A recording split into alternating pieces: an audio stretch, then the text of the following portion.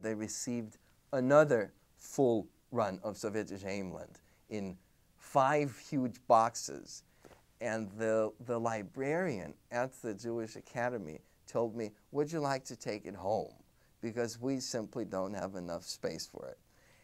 And I was so happy.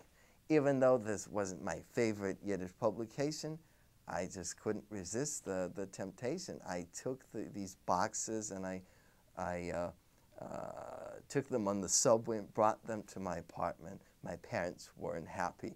Uh, they were uh, filled with all kinds of interesting articles. And as I said, at least the letters looked Jewish. The illustrations looked Jewish. Once you opened them, you could see Jewish faces. You could see pictures of, you know, Jewish Städtler in Eastern Europe. But by that time, I could read Yiddish. And I was unpleasantly uh, surprised. I was shocked by the, by the um, uh, anti-Zionist, anti-Israel, and essentially anti-Jewish vitriol that you could find on the pages of Sovetish Heymland.